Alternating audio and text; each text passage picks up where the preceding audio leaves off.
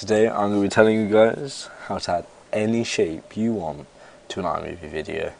So firstly, you're going to want to go Command Shift 4, which bring up this little arrow thing here, and you take a screenshot of absolutely anything you like. So I'm just going to take a screenshot of these buildings here, then that should come up on your desktop, and then open, and here we are. Next thing you want to do is you're going to want to go Command and A, which, which highlights everything, and then delete.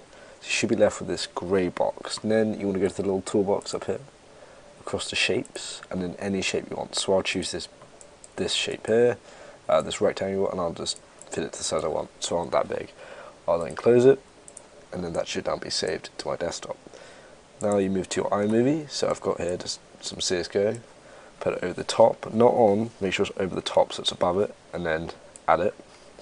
Then we all gonna it will look like this. You want to press on this little these two boxes here, got with cutaway. You want to go off that, and you want it to be picture in picture. Then you can choose anything you want, and you can see here. Here is the box, so I can make it as big as I want, as little as I want.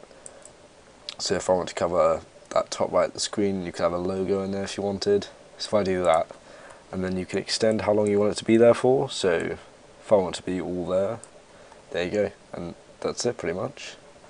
Um, thank you very much for watching, and I hope you enjoyed, and I'll see you guys in the next video.